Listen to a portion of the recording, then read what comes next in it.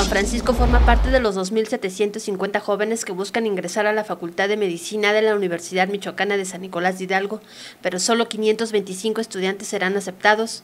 Originario de Acambre, Guanajuato, Juan tuvo que solicitar su ingreso a una universidad fuera de su estado, ante las pocas posibilidades de poder alcanzar su sueño y ser médico. Buscar en otras ciudades. En todo Guanajuato solamente hay León y ahí nada más son 60 lugares y hay menos posibilidades que aquí en Michoacán, que son 500 y es por eso que a mí me vine aquí. La Facultad de Medicina es de las más solicitadas por los estudiantes de Michoacán y estados limítrofes.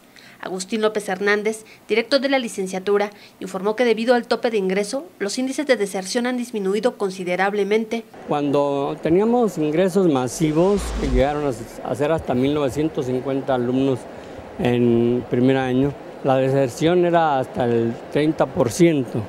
Con el ingreso de, una matrícula más reducida, con una selección más rigurosa, la deserción es del 5% al 7-5% la más alta. Las autoridades de la máxima casa de estudios aseguraron no aceptarán más alumnos por medio de los diversos movimientos de aspirantes y rechazados promovidos a través de la Coordinadora de Universitarios en Lucha